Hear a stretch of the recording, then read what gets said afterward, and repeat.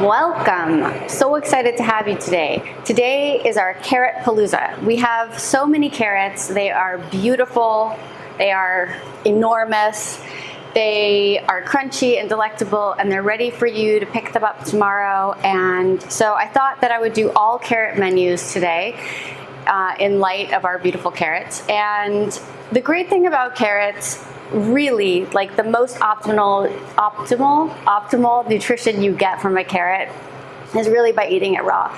You can cook it in other ways and get all of the beta carotene and the vitamin A and all of that, but raw carrots are amazing on their own. So as a snack, it's definitely a way to go. They have fiber, they have a ton of beta carotene, which your body turns into vitamin A which is really good for your eyesight. So that old adage of like carrot, eat carrots, they're good for your eyes is actually true. On top of that, they have lutein, which is another amazing ingredient to give your body for proper eyesight. They have beta carotene. Oh, I already said that. They have um, lycopene, which is another amazing thing. They have biotin, which is really great for your hair and nails. So a ton of delicious things. So we'll get started. We'll make the jam first. That's right, we're making carrot jam. It's not on everybody's diet radar, but carrot jam is really cool because you can spice it up, you can make it only sweet. It's amazing on toast or with plain muffins for those of you who have made the um, who have done the pan curriculum, it's a really good accompaniment to just the plain muffins, and it's amazing with cheese. So that said, let's do it. So we have four and a half cups of carrots, which for those of you who will be picking up tomorrow, that's five uh, that's five carrots of these big guys. And then we have one and a half cups of sugar. I'm going to add a little lemon later and because I like things spicy and I will eat this with cheese, I'm going to add crushed red pepper. This is just from our pan program. You can get it from Domino's, wherever you get it. And I'm gonna make a spicy carrot jam. If you wanted, you could add cloves, cinnamon, cardamom. You could add a ton of things because carrot jam is popular around the world. Um, so Google has a lot to share with you about it. Let's get started. So in the pan, I'm going to add the carrots.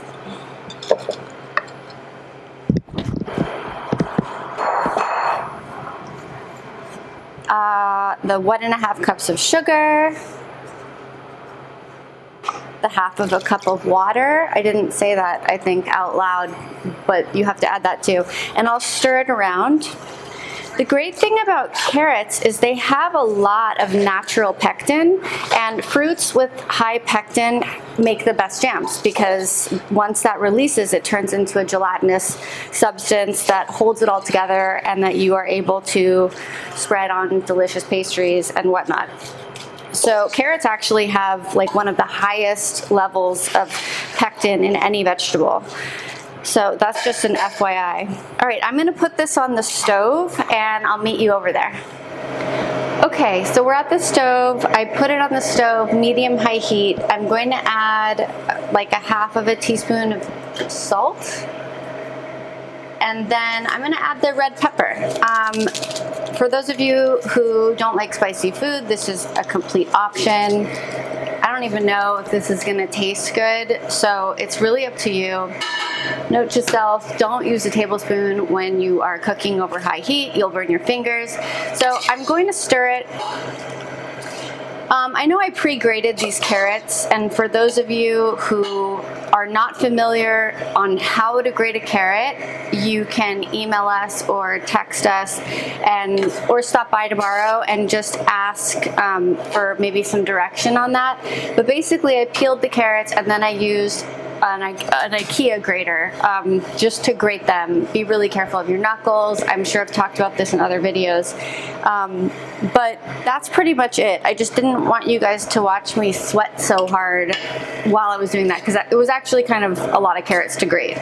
Um, all right, so that's it. I'm going to leave that alone and we can go back to the counter and I'll just turn around and stir it occasionally.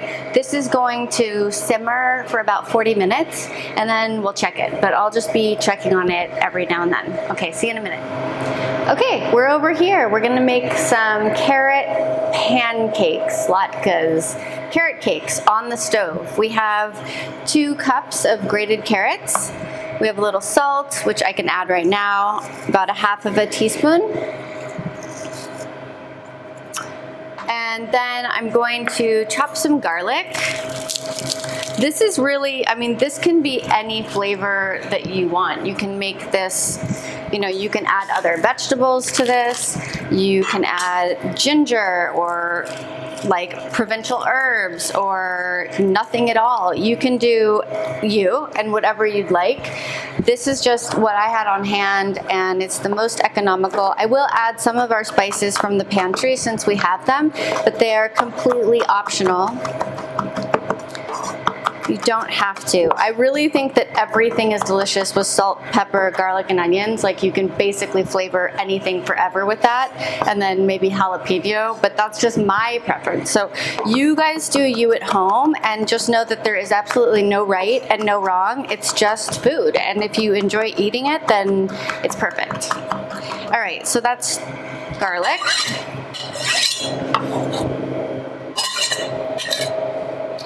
So that was two cloves of garlic.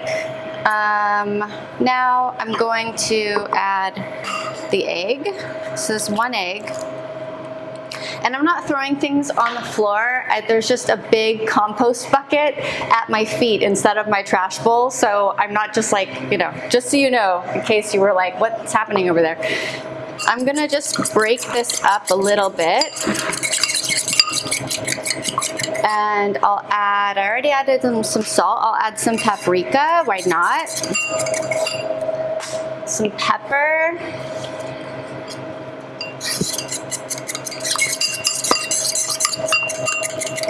Paprika and pepper and all those spicy things are so really, really special to have in your diet because pepper, um, granulated garlic, just in case that you didn't have enough garlic, like me, Pepper actually, all peppers, spicy foods help break down protein when you eat it. So even if you're on a vegan diet or if you're like pairing this with the chicken breast, spicy things help break down protein in your body. So it's very convenient. All right, I'm gonna add, I'm going to add the flour first. I'm gonna stir this. So this is boiling now. I'm just gonna give it a stir and I'm gonna turn it down to a simmer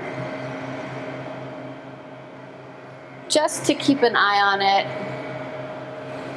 but I'll keep cooking. So, and then I'm gonna mix this up. And I'll add the egg.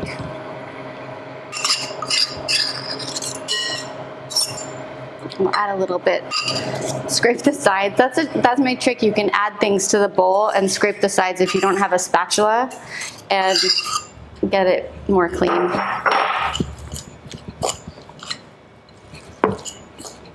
Okay, now, now it's time to use my hands. I'm gonna use my hands and I'm going to mix this up. So I thought it wasn't going to be enough, but it's actually a really good consistency. Okay, we have um, a tray. I've just lined mine with paper, but you don't have to do this. And we're going to make little cakes. I'm going to squeeze them I'm gonna make tiny ones. Just squeeze them to whatever size you want. The smaller the cakes, the quicker they cook. And because this does have uh, raw egg in it, I would probably go on the smaller side just to ensure that you're actually getting, you know, the egg cooked all the way. Make sure that as well that they're not um, really like high in the center because of course the thicker something is, the longer it takes to cook as well. And you want everything to cook approximately at the same time. If this is too soft for you, you can always put this in the refrigerator for overnight or you can, for a few hours, you can freeze these. I've never frozen them, but I'm sure they freeze well and then you can cook them the next day. However, with things with egg in them, when you freeze them, you do need to really make sure that you're cooking it very well the next day uh, so the egg cooks through. So maybe fresh is the way to go, but we'll even see how these handle. I'm going to cook only six. So I'm gonna set the rest aside and we'll cook them later in the kitchen. And let's go over to the stove again. Okay, so we're back over at the stove. I have the carrot jam. Really, it's like a marmalade because it's gonna be chunky, but I have this cooking. I'm just stirring it occasionally. And on a medium high heat, we are going to cook these little latkes. I have a plate set aside with some paper just to catch the grease when I uh, take them off of the heat. And you don't need a lot of oil, but you do need enough so that they fry and cook well around the edges. I actually don't think that that's enough. It might be. I don't think so. I don't know if my mic stretches that far, so I'll be right back. Okay, I'm back. So I used olive oil and now I'm using vegetable oil because that's what we have. So again, if you run out of something at home, you don't have to worry about it. You do you. Your kitchen is your domain. And just because a recipe or I am using something, it doesn't mean you have to. So just keep that in mind and don't stress out if that happens to you. Gonna get this spatula and I think that's hot enough. Oops, careful when you're cooking with oil. Great. That is a nice sizzle. We want it to sizzle. It's actually probably a little too low. We'll just place them on and let them cook for a few minutes probably, I would say, about three minutes aside. I'm probably going to crowd this too much if I add that middle one, so I'm going to cook five. And just keep an eye on it while they cook. Make sure that there's enough oil coating the pan.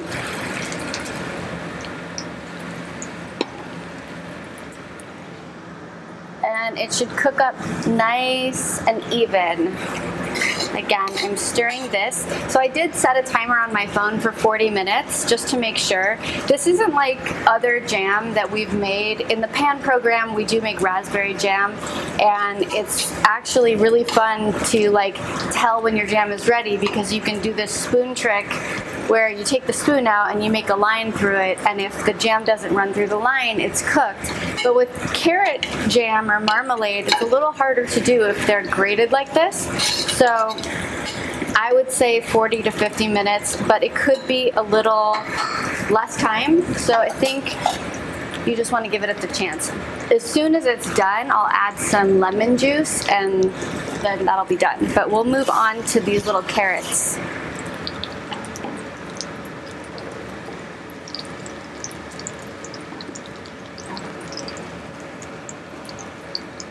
So they're pretty fragile,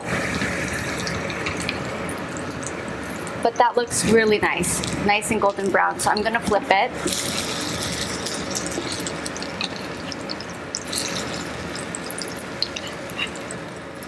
The nice thing about these is you can cook these in advance and once they're cooked, you can freeze them and store them for three to six months in your freezer if they're stored well. And you can take them out and just put them in the microwave and heat them up and grab them on the go, which is really great just to have something that's ready made in your freezer like that. The nice thing about eggs, which I don't know if a lot of you know, but eggs actually get better when they're microwaved. Like you can freeze an egg or put an egg in the refrigerator and microwave it and it's just as moist and fluffy. I mean, the first time you reheat it, than it was almost when you made it. So they're really great um, to have in things like this that you're going to reheat later. This pan is like on its last legs, but it's still doing the trick. Right, we're gonna keep cooking that. We'll keep stirring this.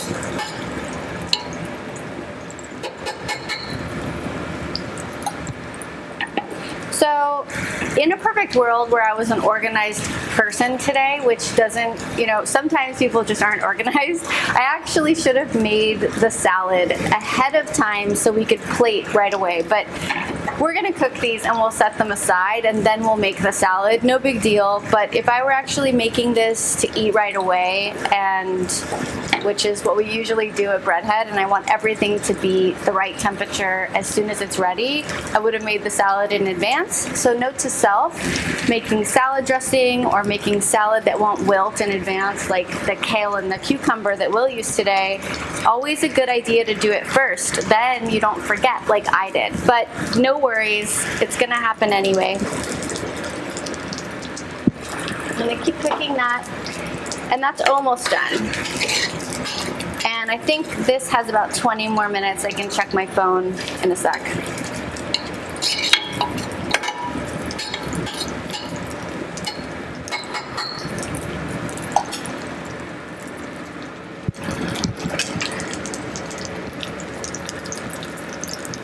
gonna flip this one back over because it wasn't really brown. I really hope you guys try these recipes and if you do, will you please send us a video or um, or just, I burned that one a little bit or just even a picture. Send it to us and we'll post it. All right, these are done. I'm going to take these off.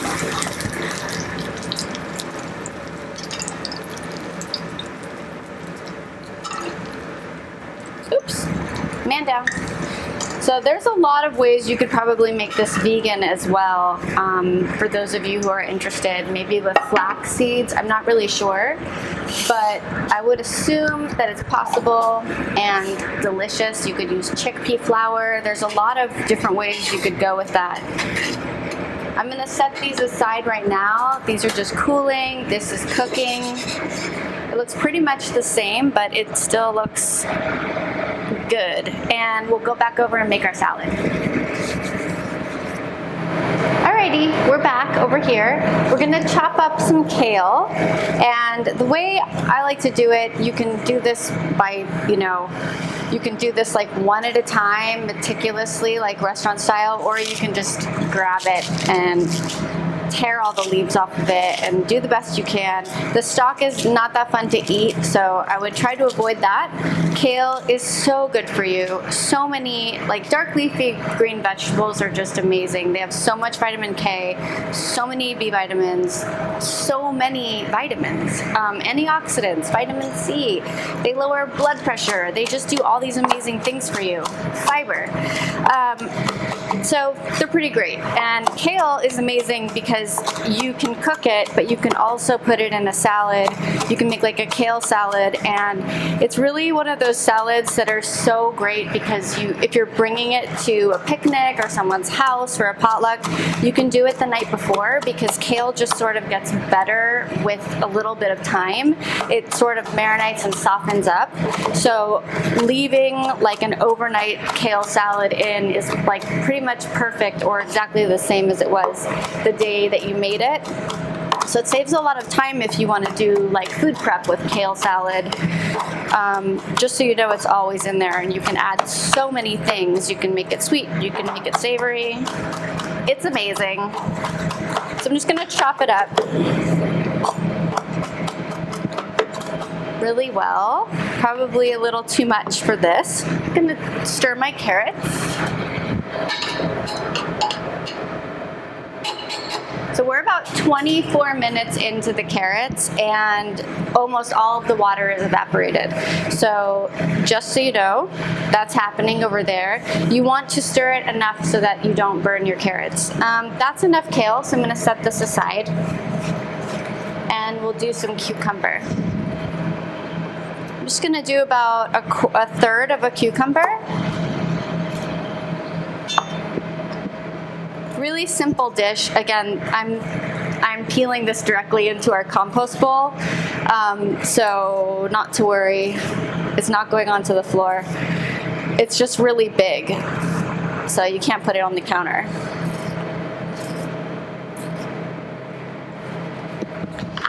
And then we'll cut up the cucumber. So anything that rolls, I like to cut it in half and then lay flat side down. And then I'm gonna quarter this and make some little slices. Again, cucumber as well. It doesn't hold up as much as kale does, but this would be fine to eat the next day.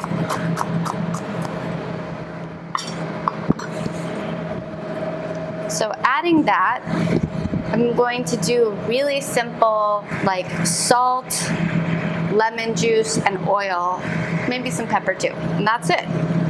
So I squeezed about half of the half of the lemon. The rest I'm going to put in the carrot jam. Um, and then I'm going to add a little bit of avocado oil because we just ran out of olive oil. This uh, was $1.69, so it's not too expensive, but if you are on a budget, you know, this is a tiny bit of oil for $1.69. You can get a lot bigger oil um, at another store for less money. So understandably, if you can't, then don't. And you don't need avocado oil to make a delicious salad. So that's ready. I'm just gonna set it aside.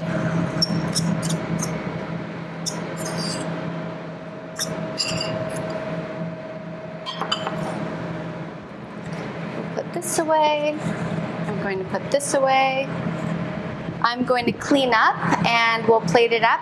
Still checking my carrot jam. Okay, with that back over there, we will plate it up. So I reheated these in the microwave just a little bit, just so our staff, our Bread Head team, um, doesn't have to eat cold fritters. But you could also plate this, you know, just like this, family style. It looks really good. These look pretty tasty. Put three of them on there. And then with our salad, again, this makes like really colorful, flavorful food on its own. So you don't have to plate it, but I like to plate it. It's like ceremonial and every every day is a fancy day if you plate your food. So here is part one of our carrot palooza. Please try the recipe carrot fritters, kale cucumber salad available for you tomorrow, and we'll be back with the jam. Okay, so our final stage of our Lollapalooza carrot extravaganza. This cooked for 30 minutes and the water was evaporated and so I stopped because you don't want to burn you know your jam no matter what jam you're making you don't want to burn it. When it gets too low on water it's time to stop. So a few things about this jam. Right now it's a very like sticky consistency. It's really hot. As all jam, it's made hot. It's going to go into the jars to cool tomorrow or when it's completely cooled down, it will be more like gelatinous and jammy in texture. Um, a few things about this, I could have blended this up before at a few different stages. There's a lot of tips online on how to make smooth carrot jam. This is more like a chutney marmalade um, because you can make jam without doing those steps. If you don't have a blender or a Cuisinart or a handheld mixer, you don't have to do that to get something delicious. So I didn't want it to be you know, out of reach. So here it is, jam. Okay, this method is not sterilized jamming, jarring, sterilization. Um, if I were to sterilize this and make jam that would store for up to 12 months or even longer in a cupboard, I would be boiling these. There'd be like a completely different technique, and um, I'm not doing that. I'm going to store this in the refrigerator. This is a very clean uh, mason jar, and this will store nicely in the refrigerator for two weeks, about that, um, just on its own. Any further, you could probably throw it away. So just so you know, this is not canning. This is just making jam and putting it in a safe receptacle to cool, and then you eat it for two weeks and it's probably done. So please don't put this on your kitchen shelf in a cupboard for a year and come back to it and be like, oh, I forgot about this jam, and then die or so. It would be terrible. So enough said about that. I'm going to just start putting it in the jars. Um, you can use leftover jars. I'm actually going to use a tablespoon for this because that's a really big spoon. You can use leftover jars of other jam. You can use jars of mustard, really anything. Um, you just need to put it in a clean jar for storing. And that is enough.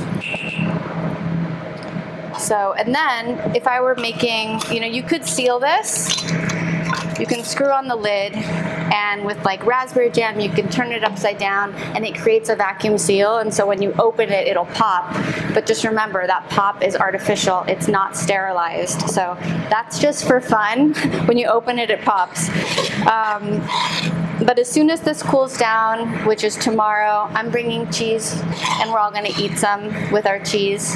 Um, you can eat it and enjoy it. I'll stop there. There's a little bit left in here. So this recipe that I made, um, I would say made three four ounce jars, or maybe this is six ounces. Made about three jars. And that is it. If you don't like cheese, you could, it's really sweet, but the peppers that I added were actually really spicy too. So I think cheese is great for this. You could add this on lamb, you could add this on pork, uh, chicken. Um, I don't know, you could try it with fish. You could probably, I would probably put it on pork or chicken or lamb. You choose, you do you. We'll be eating with cheese. And that's it. I hope you enjoyed today's Carrot Palooza.